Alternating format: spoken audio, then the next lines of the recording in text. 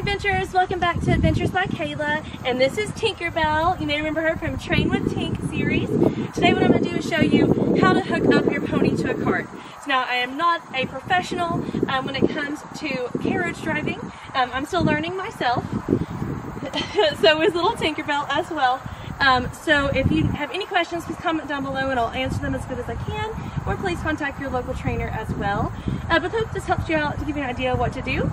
Now she's about 12 and a half to 13 hand high pony, so she kind of wears like a cob size. Uh, so the cart I have for her is about a 60 inch shaft. Um, so it honestly could probably be a little bit longer for her, but since she's not a for sure size, um, it does make it a little bit more challenging. So in general, just look it up online what size of cart you need for your pony. Um, I already actually bought a wrong size for her, had to sell that cart, and then go get another one because it was way too small. Now when you hook it up, if whenever you stop, you lean back and it tilts back, it's kind of like your red flag that it is that it is too small uh, for your pony. So of course the pony has no trouble carrying it, uh, but it doesn't really fit her properly. So the goal, and I'm gonna show you when it looks, the goal is for the shaft to be pretty straight with their shoulder and line up with their shoulder. Like I said, this one should hopefully be a little bit longer. Um, so maybe depending on how much she grows next several years, I may have to sell this one and get an even bigger one.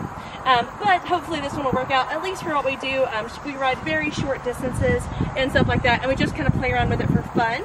Um, the main reason why I've trained her to do cart is so that once my kids outgrow her riding, that she can have a nice and enjoyable life still with us here um, and get to ride around on the cart. And I think she's going to ride in a parade this year. Have the cart right here ready to go. Um, now, of course, you want to train your horse to do that. Do not just hook it up to it and make all the it's just like ready to go. I've done lots of prerequisite work with her and she now is also already trained to pull a cart.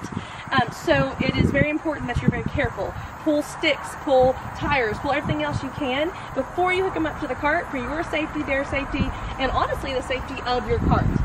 Um, so just something to keep in mind um, whenever you're getting ready to do this.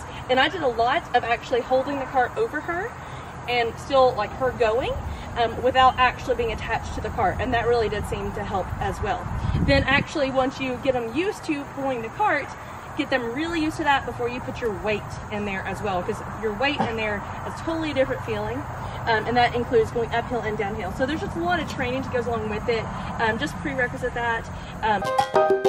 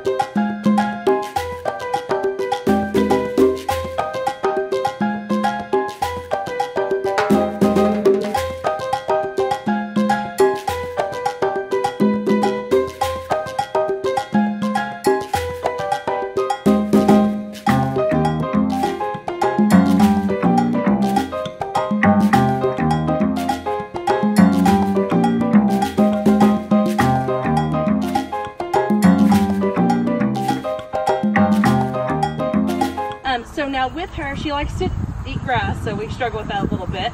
Um, but those are just little struggles to have. Like right now, she's wanting to eat grass, and we're not doing that. But right now, she's totally hooked up. She cannot get away from the cart. So that works out okay. Oh. But just like any cart horse, sometimes she'll get a little antsy wanting to go.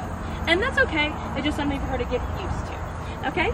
So hope this helps. Uh, so again, our goal is to have this equal with the shoulder. So it's a little bit low right now from where it needs to be.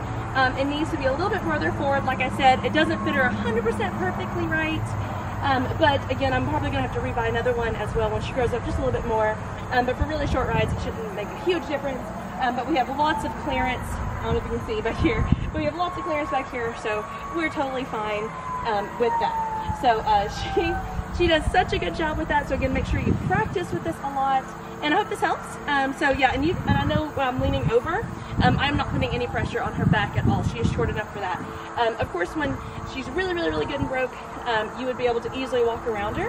And she is broke, but I just, you know, I'm always trying to make sure I'm as safe as possible, um, especially when you're working around um, one to make sure that she is successful in what she's doing. Um, so I'm wanting her to set her up for success. If you want to be really, really good, you would have a helper, um, someone maybe to help stand her head, keep her entertained, and hook up one side, whereas you hook up the other side. Um, but it is very important when you start to hook up that you move kind of quickly. So thank you so much for watching. God bless, be adventurous, and thank you. Uh, make sure you like and subscribe. It really helps me out. Thank you so much for watching. God bless, be adventurous, and we'll see you next time. Bye!